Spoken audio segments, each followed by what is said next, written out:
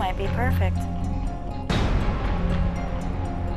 I have a husband. I'm not surprised. He's a cheap bastard.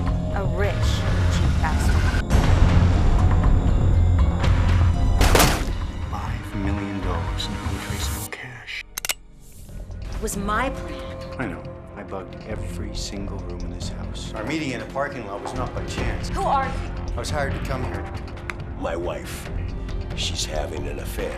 And I don't want her entitled to my money, and she's not gonna get it.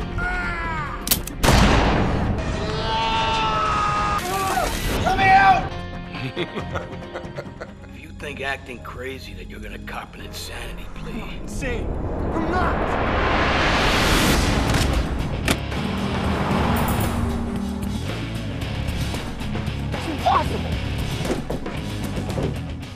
Saying? I'm looking for a lady. A lady? Can I help you with something? Where is she? Do you know where you are? Are you a ghost? What do you think?